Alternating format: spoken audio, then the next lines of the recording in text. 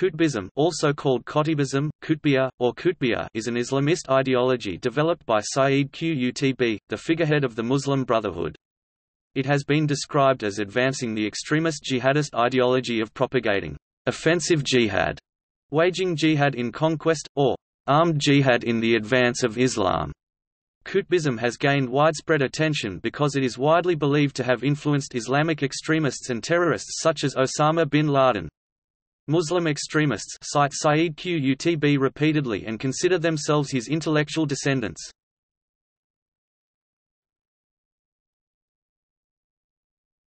Topic: Terminology. Like the term Wahhabi, Qutbi is used not by the alleged proponents to describe themselves, but by their critics.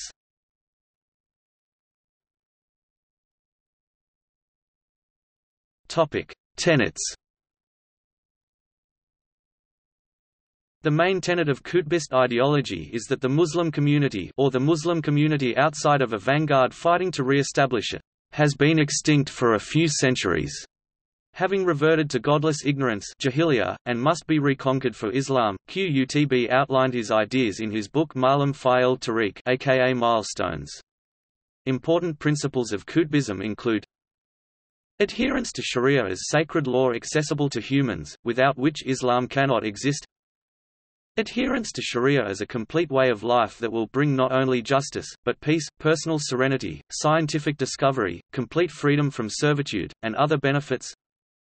Avoidance of Western and non-Islamic evil and corruption, including socialism, nationalism and consumerist capitalism. Vigilance against Western and Jewish conspiracies against Islam a two-pronged attack of one preaching to convert and two jihad to forcibly eliminate the structures of jahiliyyah. The importance of offensive jihad to eliminate jahiliyyah not only from the Islamic homeland but from the face of the earth.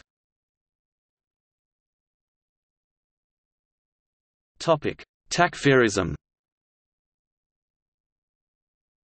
The most controversial aspect of Qutbism is takfir, Qutb's idea that Islam is extinct According to Takfir, with the exception of Qutb's Islamic vanguard, those who call themselves Muslims are not actually Muslim. Takfir was intended to shock Muslims into religious rearmament. When taken literally, takfir also had the effect of causing non-Qutbists who claimed to be Muslim in violation of Sharia law, a law that Qutb very much supported. Violating this law could potentially be considered apostasy from Islam, a crime punishable by death according to Qutbis. Because of these serious consequences, Muslims have traditionally been reluctant to practice takfir, that is, to pronounce professed Muslims as unbelievers even Muslims in violation of Islamic law. This prospect of fitna, or internal strife, between Qutbists and takfir ed Mainstream Muslims, was put to Qutb by prosecutors in the trial that led to his execution, and is still made by his Muslim detractors. Qutb died before he could clear up the issue of whether Jahiliyyah referred to the whole Muslim world, to only Muslim governments, or only in an allegorical sense, but a serious campaign of terror, or physical power and jihad, against the organizations and authorities of Jahili Egypt, by insurgents observers believed to be influenced by Qutb followed in the 1980s and 1990s. Victims included Egyptian President Anwar Sadat, head of the counter-terrorism police Major General Raouf Khayrat, parliamentary speaker Rifat El Mahgoub, dozens of European tourists and Egyptian bystanders, and over 100 Egyptian police officers. Other factors such as economic dislocation, stagnation and rage over President Sadat's policy of reconciliation with Israel played a part in instigating the violence, but Qutb's takfir against Jahiliya or Jahili society, and his passionate belief that Jahiliya government was irredeemably evil, played a key role.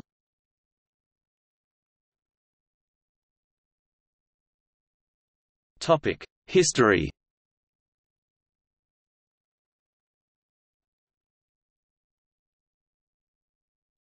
Topic: Spread of Qutb's ideas. Qutb's message was spread through his writing, his followers and especially through his brother, Muhammad Qutb, who moved to Saudi Arabia following his release from prison in Egypt and became a professor of Islamic studies and edited, published and promoted his brother Sayyid's work. Ayman al-Zawahiri, who went on to become a member of the Egyptian Islamic Jihad, was one of Muhammad Qutb's students and later a mentor of Osama bin Laden and a leading member of al-Qaeda, and had been first introduced to Sayyid Qutb by his uncle, Mahfuz Azam, who had been very close to Sayyid Qutb throughout his life and impressed on al-Zawahiri, "...the purity of Qutb's character and the torment he had endured in prison."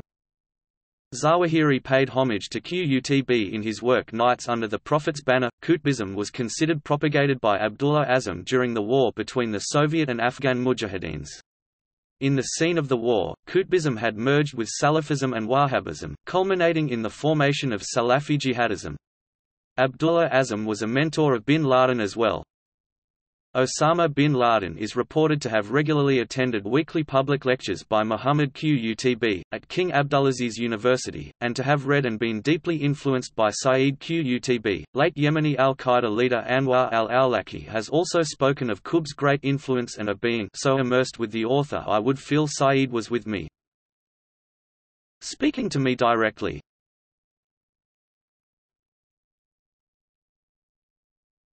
Topic Backlash Following Qutb's death Qutbist ideas spread throughout Egypt and other parts of the Arab and Muslim world, prompting a backlash by more traditionalist and conservative Muslims, such as the book Dua, Lakuta Preachers, Not Judges 1969. The book, written by MB Supreme Guide Hassan al-Hudaybi, attacked the idea of takfir of other Muslims but was ostensibly targeted not at Qutb but at Maududi, as al-Hudaybi had been a friend and supporter of Qutb.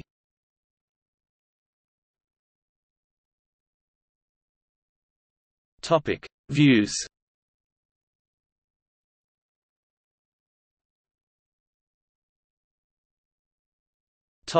Science and learning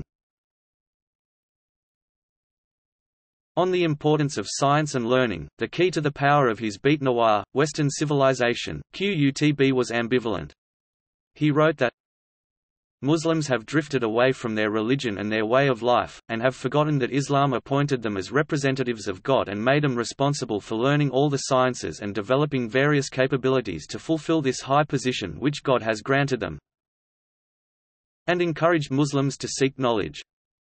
A Muslim can go to a Muslim or to a non-Muslim to learn abstract sciences such as chemistry, physics, biology, astronomy, medicine, industry, agriculture, administration limited to its technical aspects, technology, military arts and similar sciences and arts, although the fundamental principle is that when the Muslim community comes into existence it should provide experts in all these fields in abundance, as all these sciences and arts are a sufficient obligation on Muslims that is to say, there ought to be a sufficient number of people who specialize in these various sciences and arts to satisfy the needs of the community. QUTB, Milestones p. 109.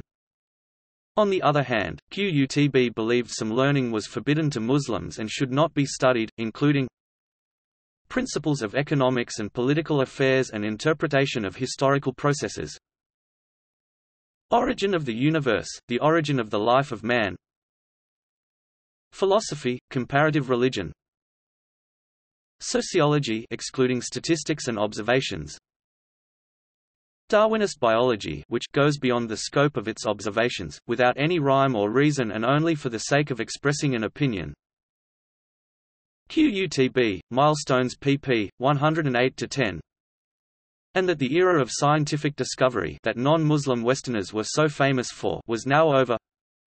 The period of resurgence of science has also come to an end. This period, which began with the Renaissance in the 16th century after Christ and reached its zenith in the 18th and 19th centuries, does not possess a reviving spirit. QUTB, Milestones p. 8. However important scientific discovery was, or is, an important tool to achieve it and to do everything else is to follow Sharia law under which Blessings fall on all mankind, and leads in an easy manner to the knowledge of the secrets of nature, its hidden forces and the treasures concealed in the expanses of the universe. QUTB, Milestones p.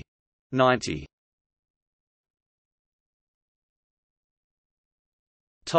Sharia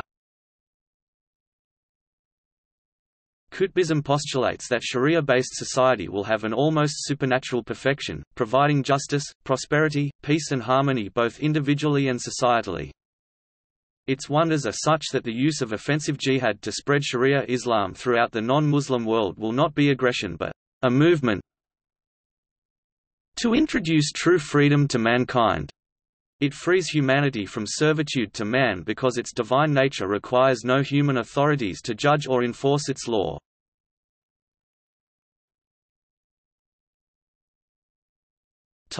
Conspiracy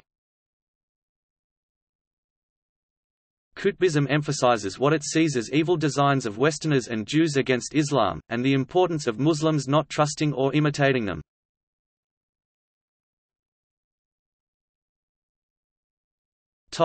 Non-Muslims Other elements of Qutbism deal with non-Muslims, particularly Westerners, and have drawn attention and controversy from their subjects, particularly following the September 11, 2001 attacks. Though their terminology, issues and arguments are different from those of the Islamic traditionalists, Westerners also have criticism to make.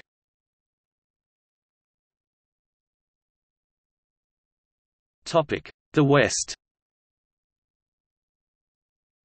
In Qutb's view, for example, Western imperialism is not, as Westerners would have Muslims believe, only an economic exploitation of weak peoples by the strong and greedy. Nor were the medieval Crusades, as some historians claim, merely an attempt by Christians to reconquer the formerly Christian-ruled, Christian Holy Land. Some historians have disagreed because the Crusaders slaughtered Arab Christians too, both were different expressions of the West's pronounced enmity towards Islam, including plans to demolish the structure of Muslim society. Imperialism is a mask for the crusading spirit. Examples of Western malevolence Qutb personally experienced and related to his readers include an attempt by a drunken, semi-naked American agent to seduce him on his voyage to America, and the alleged celebration of American hospital employees upon hearing of the assassination of Egyptian Ikhwan Supreme Guide Hassan al-Banna. Qutb's Western critics have questioned whether Qutb was likely to arouse interest of American intelligence agents as he was not a member of the Egyptian government or any political organization at that time, or whether many Americans, let alone hospital employees, knew who Hassan al-Banna or the Muslim Brotherhood were in 1948.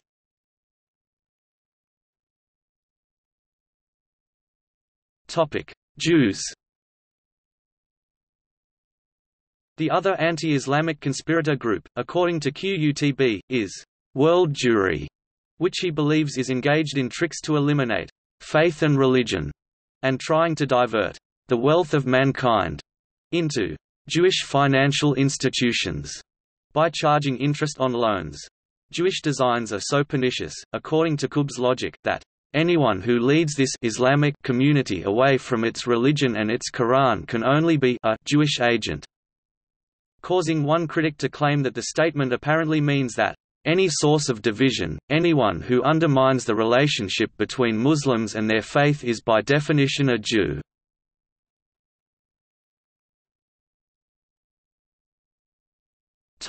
Western corruption Qutbism emphasizes a claimed Islamic moral superiority over the West, according to Islamist values. One example of the filth and rubbish heap of the West QUTB, Milestones, p. 139 was the animal-like mixing of the sexes. QUTB states that while he was in America a young woman told him, The issue of sexual relations is purely a biological matter. Complicate this matter by imposing the ethical element on it. The horse and mare, the bull and the cow do not think about this ethical matter and, therefore, live a comfortable, simple, and easy life. Critics complain that this opinion was wildly unrepresentative and the incident highly improbable. Even at the height of the sexual revolution in America 30 years later, most Americans would disagree with his statement, but at the time of his visit to America, sex out of wedlock, let alone animal-like promiscuity, was rare, with the overwhelming number of Americans married as virgins or that only had premarital sex with their future spouse.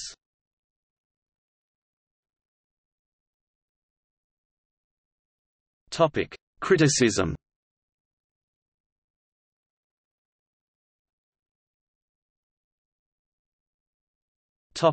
By Muslims While Ma'alim fi al-Tariq Arabic, al-Tariq milestones was Qutb's manifesto, other elements of Qutbism are found in his works al-Adala al-Itamiyya fi al-Islam Arabic, Aldal al-Ijmate fi al-Aslam Social Justice in Islam, and his Quranic commentary fi Zilal al-Quran Arabic, fi Zilal al-Quran in the Shade of the Quran. Ideas in or alleged to be in those works also have come under attack from both traditionalist, conservative Muslims. They include Proposals to redistribute income and property to the needy. Opponents claim they are «socialist» and innovations of Islam. Describing Moses as having an «excitable nature», this allegedly being «mockery» and «mockery of the prophets is apostasy in its own», according to Sheikh Abdul Aziz ibn Baz dismissing fiqh or the schools of Islamic law known as madhab as separate from Islamic principles and Islamic understanding. Qutb may now be facing criticism representing his idea's success or Qutbism's logical conclusion as much as his idea's failure to persuade some critics. Writing before the Islamic revival was in full bloom, Qutb sought Islamically correct alternatives to European ideas like Marxism and socialism and proposed Islamic means to achieve the ends of social justice and equality, redistribution of private property, political revolution, but according to Olivier Roy, contemporary neo-fundamentalists refused to express their views in modern terms borrowed from the West. They consider indulging in politics, even for a good cause, will by definition lead to bid'a and shirk the giving of priority to worldly considerations over religious values. There are, however, some commentators who display an ambivalence towards him, and Roy notes that his books are found everywhere and mentioned on most neo-fundamentalist websites, and arguing his mystical approach, radical contempt and hatred for the West, and pessimistic views on the modern world have resonated with these Muslims.